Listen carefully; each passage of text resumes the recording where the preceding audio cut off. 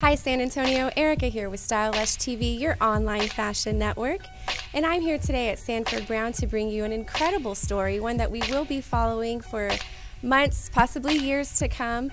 Um, but it's something that we have to share with you because it is fashion news, and that's who we are. So stay tuned. So I am here with two students of Sanford Brown, uh, the lovely Miss Grace Herrera and Simi Lipscomb.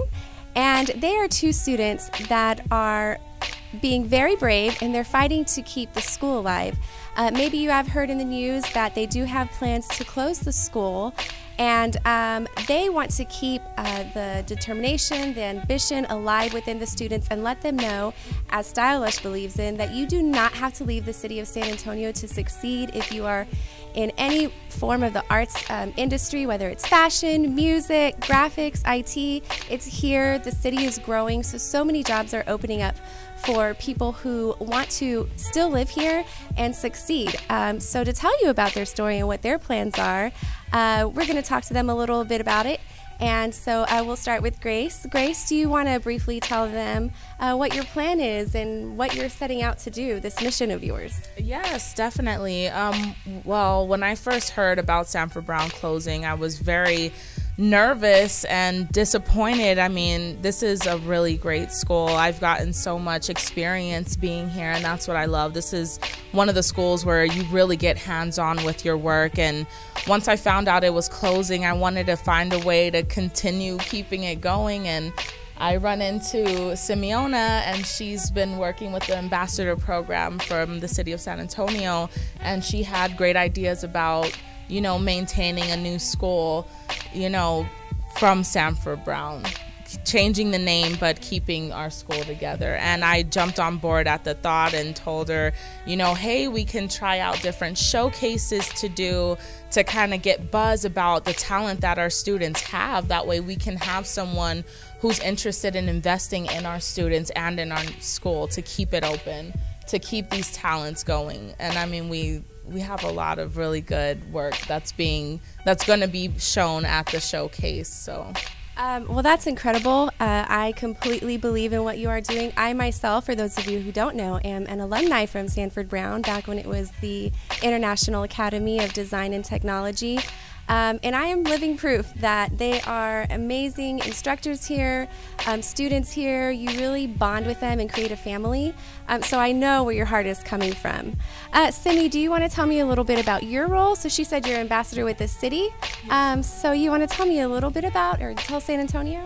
My name is Simeona Lipscomb, and I recently was um, selected to be one of the interns for the ambassador program through the city and I really wanted to help my school out. Now, when they told us that we were having teach out and I couldn't help the admissions, there was no enrollment, I just really wanted to support our current students now, give them scholarship opportunities, and give them a way to promote their art and their, their work. So. Well, uh, that is amazing, and I'm really glad to see that y'all two are setting out um, for this mission, as I said. So, the show. So, we're going to be following your progress. Um, San Antonio, have to stay tuned for that, but they're creating an amazing show that's going to bring together all students from the fashion program, the IT program, um, the graphics programs that they have here. Um, so, why don't you tell them a little bit about what the show is, where it's going to be, what it's going to entail? Uh, well, we are doing an Urban Street showcase at One Drop Reggae Shop and Juice Bar off of 410 and Broadway. And basically, it's going to be a giant art gallery mixed with a fashion show, um, you know, networking as well. We're going to have, you know, digital art being showcased as well and you get a chance to shop the booths that are being you know displayed there at the showcase. So there's lots of different ways um, our attendees can get involved as well. We'll be having demonstrations done. So it's going to be a hands-on experience not only for our students or our participants but for the attendees as well. And we want to get really active in the community and there are going to be live performances and this is really not just for our students but for all of san antonio Yes, because they could be future students. Absolutely. Um, well, if y'all just want to let San Antonio know where they can find you on social media to kind of keep tabs on you up until then. And also, when is the show? What's the date of the show? The date right now that we have is September 4th. It's going to be on a Friday before Labor Day. That's the date that we're going for. So, yeah.